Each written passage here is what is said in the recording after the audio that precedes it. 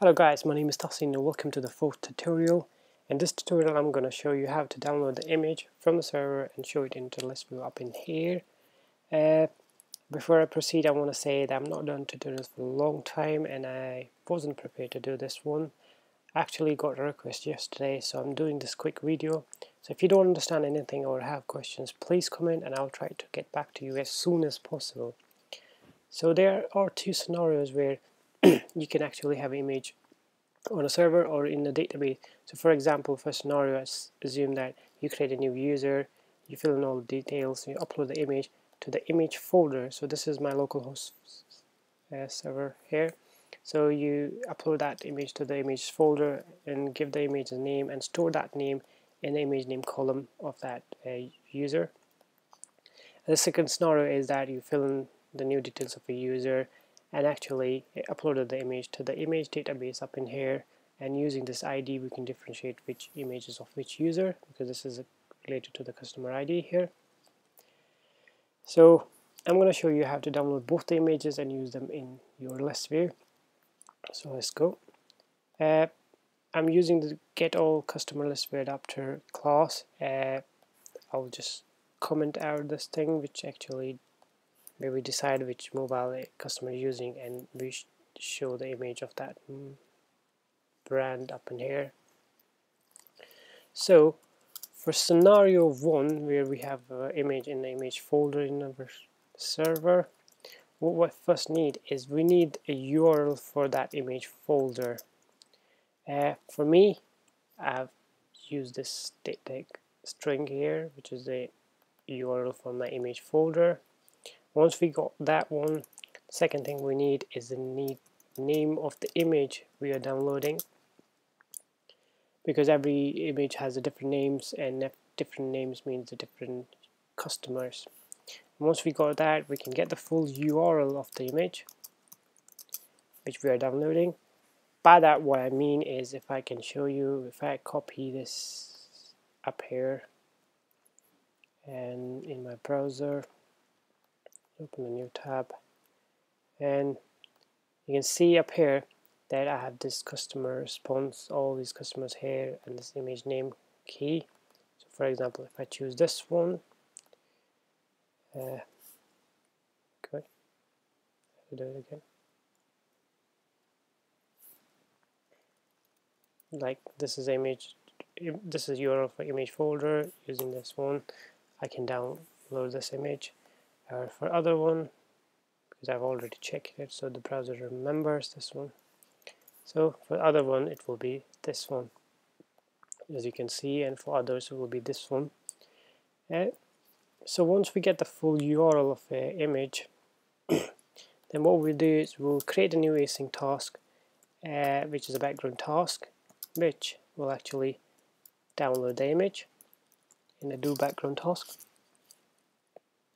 and yeah, spell it wrong. And once we download the image, we'll assign that image to the image view of the list view cell.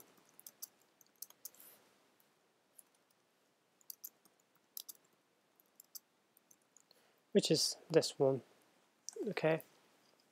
So let's start I've got the URL of image folder up in the top.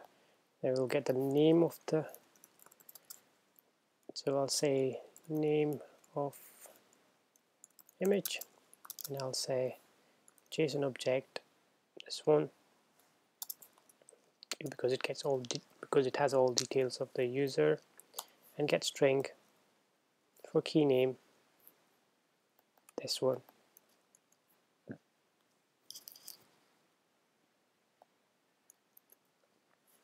So this will give us the name of the image and then we can make a full URL of it so I'll say the URL for image in server is base URL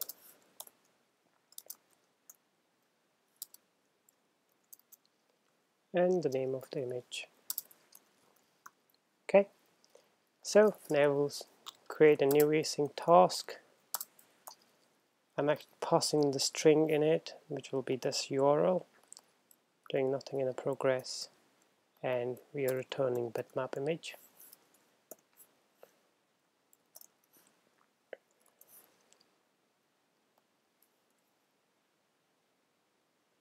Okay so then once we create the new async task we will execute it and on execution I'm passing this URL to it which is a string.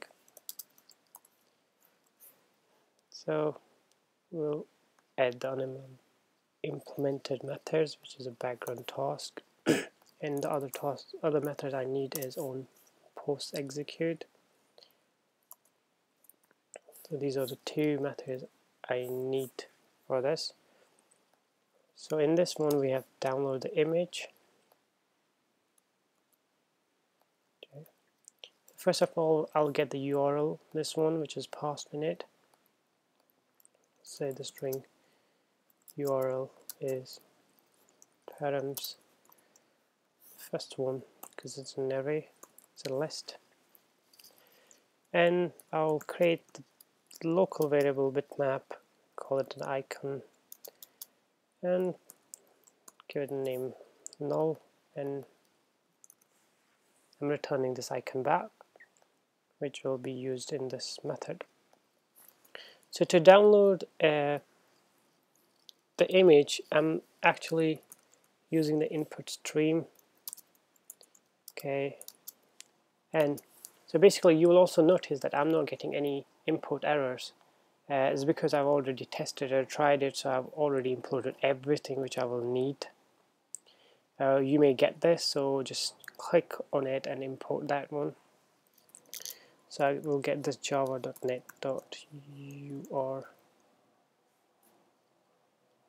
okay. URL I'll give it the URL and dot open stream this open stream will give me the input stream back. Also you'll see that it will give you an error that it can give you exception so we need to handle it. So I'll put that in a try catch block. And once we get the input stream using the bitmap factory I will get the bitmap from it and I will assign it to the icon. So icon will be equal to bitmap factory dot decode stream. And this decode stream is giving back me the bitmap okay? Pass the value in it. So these two lines is actually getting the image from this URL okay.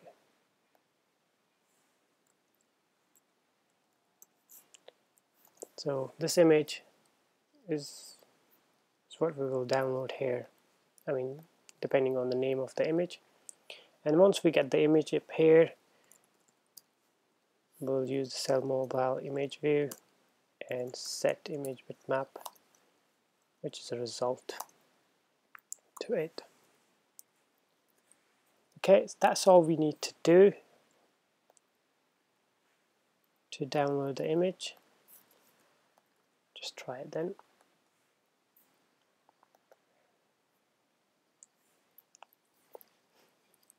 Okay so that's where we got the image from the server using their names. So for scenario 2 where we have to actually get the image from the database and then download it we have to use the PHP script. So I already have a PHP script stored in my localhost, which I have named as getimage.php so what does getimage.php does it is here. It connects to the server uh, my database is test database and see up here. It gets the user ID from this variable parameter ID so it gets we actually when we call this PHP script we give it the ID of a user. The why I'm giving the ID of a user is that because using this ID of a user I can actually go into the image database and get the image of that user. So it says that select all from the image database where id is equal to user id which is this one and then once we get that image which will be the raw image use I'm setting the header of this PHP script as a image.jpeg type because our image is a JPEG and then I'm making a echoing the image and I'm closing the database. So if I run this uh, PHP script here, which I've already opened up here, and give a different user ID, it will have a different image. So I do I have only one image which I have just cropped to just show the difference between the three images.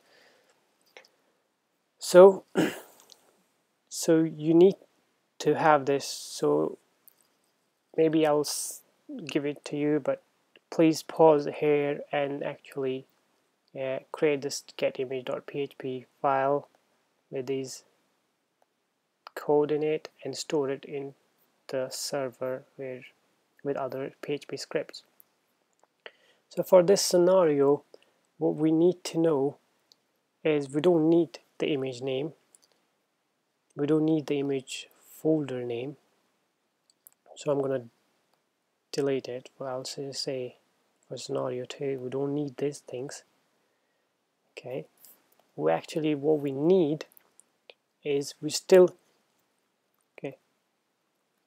we don't need this one for sure. We still need the URL for image and that URL is actually the PHP script. So like I've shown you up here this is the URL for PHP script. And it will give us the image based on the ID we'll pass through it. Okay? So we need to get that one. So instead of this okay? First of all we need to know the ID of the user. So we'll create the string id of user is equal to json object dot get string and the name of the key is id so we got the id of a user now we'll get the get the, we'll make actually the url for whole image. We'll say the URL for image in database which will be the script URL. So my script is on this I've stored the script on the tutorial.getimage.php okay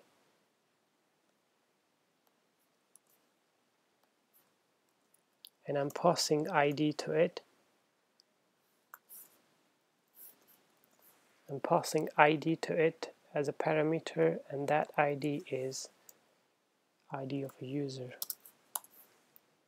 Okay, if you take time here and log this uh, string, you will actually get the same up here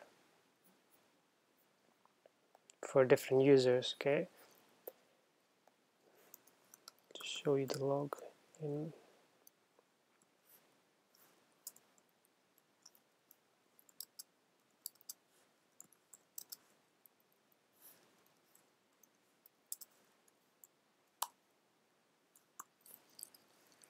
Okay? Once we get the URL of image rest is same. We're passing this URL image into this async task. I can show you. And this will do the same uh, as before. Uh, it will just actually get the image from this from that script and we'll decode it into bitmap and then we'll assigning that into here. Let's just run it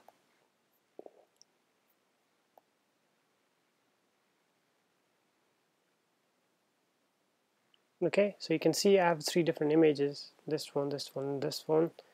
And because they their ID is not present and so I'm not getting anything from there. So here we go. We got two things. Both images. Two scenarios both we have downloaded. Don't rem remember if you're using the images in which are stored in a database you need the script uh, for getting the image out of the database and echoing it as the JPEG so if you have a PNG use the PNG up here.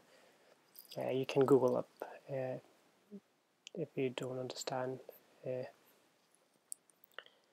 so that's it. Uh, uh, please subscribe and comment uh, if you have any questions.